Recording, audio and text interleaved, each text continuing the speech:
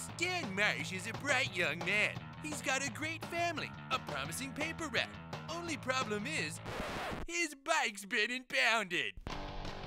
But now, he's about to find out that getting his bike back isn't so easy.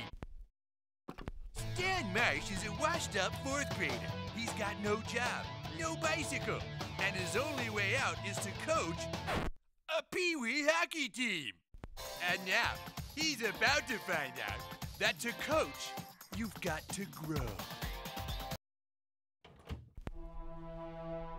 Stan Marsh has always lived a carefree life.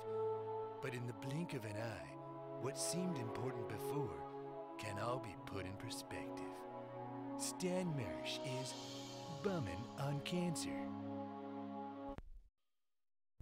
Stan Marsh was supposed to win it all. The big game, a boy's hope.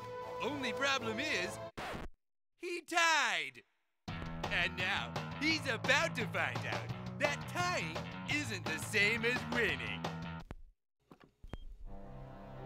Imagine if there was one game, one chance to make everything right. Stan Marsh is being given that chance. But to win, he's gonna have to pull out all the stops in Stanley's Cup. Rated R. Stan Marsh coaches a Pee Wee hockey team. But now, they're going to play in the big leagues. They've got small bodies but big hearts. Stan Marsh is going professional. No. Oh.